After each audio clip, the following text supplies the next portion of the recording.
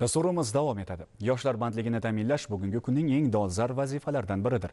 Ayniqsa yosh tadbirkorlar safini kengaytirish va ularni har tomonlama qo'llab-quvvatlash masalasida davlat miqyosida jiddiy sa'y-harakatlar amalga oshirilmoqda.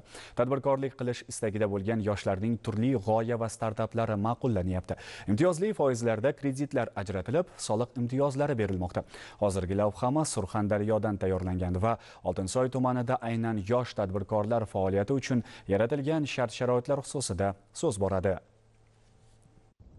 172 ming kishidan ortiq aholi istiqomat qilayotgan Oltinsoy tumanida ayniqsa yoshlar bandligini ta'minlashga har bir hokim, sektor rahbari, tegishli boshqarma va tashkilotlar boshliqlarining asosiy vazifalaridan biri sifatida qaralyapti. Tumanda kam ta'minlangan aholi daromadlarini oshirish bo'yicha konsepsiya ishlab chiqilgani, yangi qishloq xo'jaligida ishlash imkoniyati va ishtiyoqi bo'lgan ko'plab yoshlar birlashtirilib, har bir a'zoga 20 sotiq, hamkor tadbirkorga 5 gektar yer mahsulot yetishtirish uchun ajratib berilgan.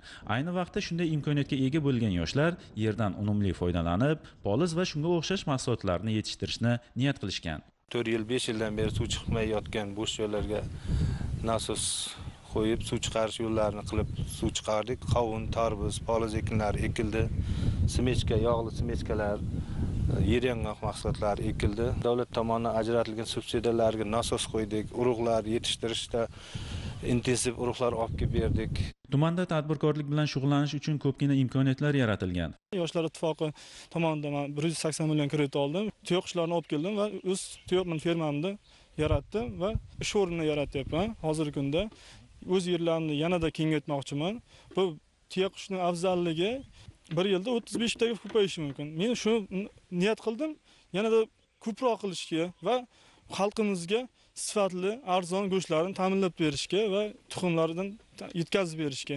Tuyaqushlarni boqish uchun ko'p joy ketmaydi. Tuyaqushchilik bilan shug'ullanish uchun 10 sotix joy bo'lsa bo'ldi. Atrofini metall to'siqlar bilan ham o'rash shart emas. Oddiy tol novdalaridan foydalansa ham bo'ladi. 10 sotix joyda ikkita oilasini boqish mumkin. Qoramol bilan solishtirganda bu ancha oson.